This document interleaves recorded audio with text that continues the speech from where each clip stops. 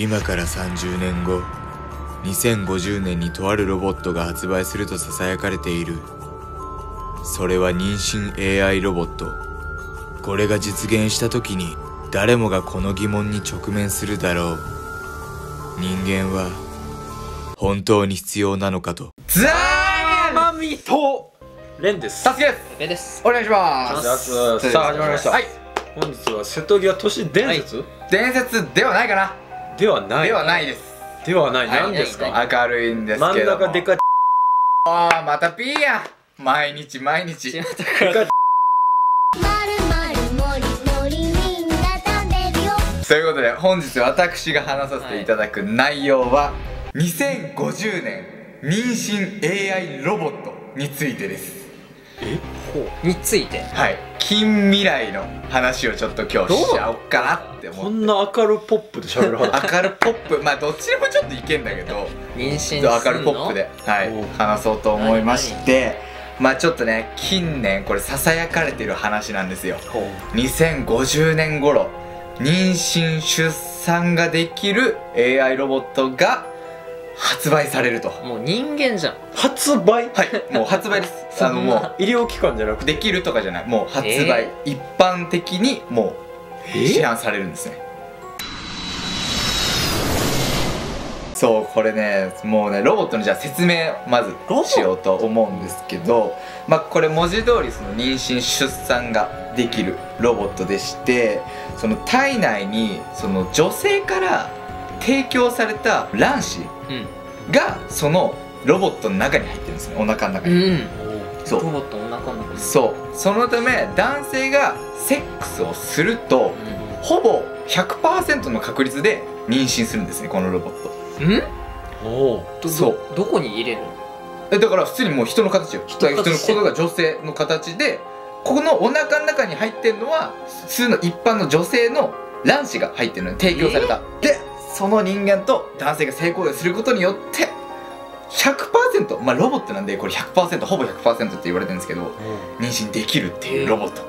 2050年に発売され近るい近い近い。言われてるんですね。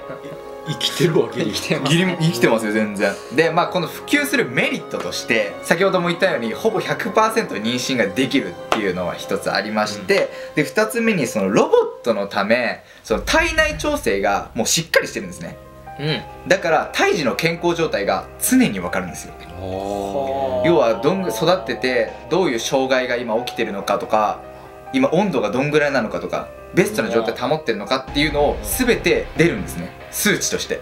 え。そう。そのため、まあ、3つ目なんですけどそのベストな状態を保っているので流産のリスクがかなり少なくなるんですうね、ん要は妊娠100%ほぼ100%できてでほぼ100%出産もできる。うんうんうん。綺麗な状態で。っていうのがこのロボット言われてましてで最後にその好きな容姿にカスタマイズできる。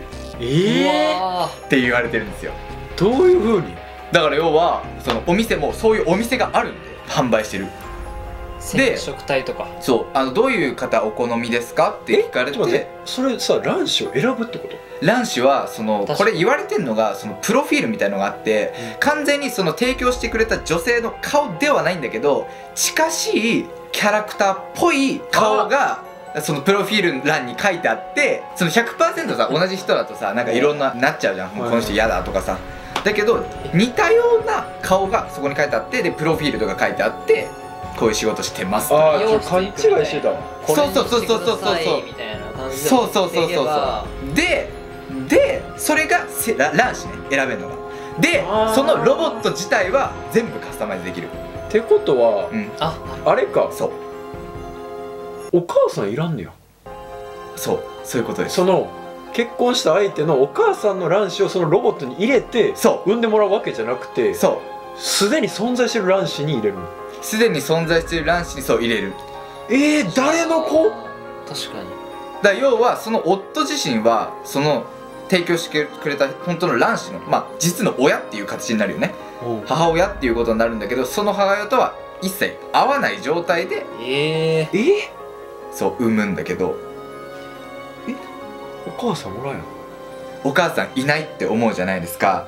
この AI が実現すれば、このロボットが出産だけではなくて家事だったり育児もしてくれるようになるのでええ人工的に卵子は作れまい、まあ、作れないって言われてんだけど作れないけどその母親の代わりになるロボットはえ？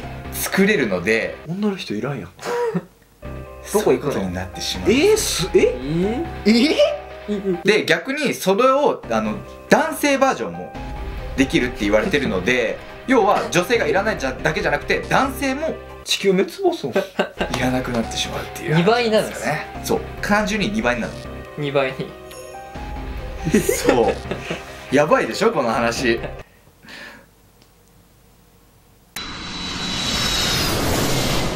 そうなんですよ。やばすぎる。で一つ問題視されてるのが何その一つどころじゃないよ、まあ 確かに。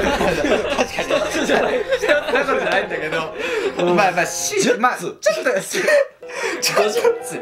ちょっとこれあるなって言われてるのがその全て嫌な顔をせずにやってしまうのね。そのロボットは。って言われてて。そうやんな。そう。人間っぽくない。要は全て同じ教育になってしまうのね。いやーだからあの家庭ではこういう育て方してるけどこの家庭ではあこういうこと育て方してるんだっていうのが今あるじゃん。だからいろんなあ面白い人とかさ多様性がね。そうさ多様性があってっていうのが世界中でそういう形が生まれてるんだけど全て同じ教育になってしまうのでそのロボットの母親が教えると。っていうのがまあ一つですね。問題視されてるっていうもっとやるけどあじゃあ事実上ロボットと結婚するみたいなことなみたいなこと。えー。そういうことです。で今そのまあ AI と共存する未来についてちょっとお話しするんですけど、まあ、今ですねその日本でもその2018年だったかな？初音ミクとその挙式を挙げた。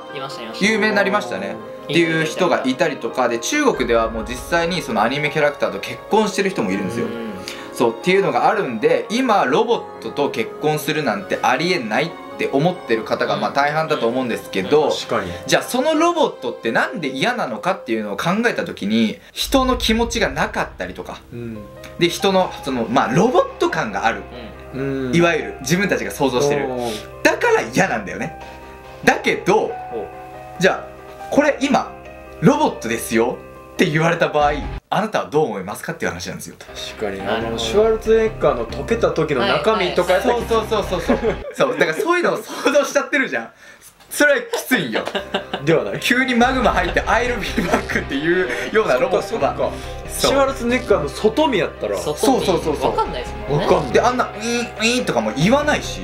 かにね。普通に「あじゃあ仕事行ってくるわ。あ行ってらっしゃい」って言われるような関係性まで育めたらロボットっていう概念ももうなくなりますよねっていうはは外見もカスタマイズできちゃうそう。だから自分す好きなもう容姿にできるし全部自分にはメリットしかないですよね。育児もやってくれるし。い確かに。そう。へえうわ出た。お腹痛くなる。お腹痛くなる。こういう未来考えたら。2015年だもんね。2050年です2015年いるんですかもうかっこグーで全部持ってかれたんだけど今日の話2050年だから。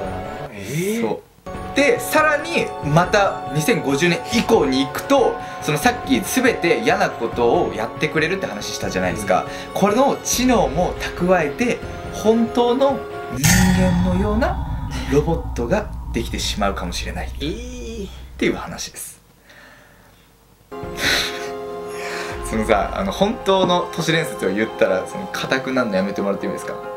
僕たち都市伝説を上げてる YouTuber なんですよ。わかんないも以上ですか？はい以上です本日。んやばいね。共存ロボットと共存する近未来についてやばいよ。お話ししました。いかがでしたか？本日。結構面白い内容だったと思うんですけど。面白いよやばいよ。やばいよね。もうなんかありそうしあかるわ結論。おえなんすか？あります？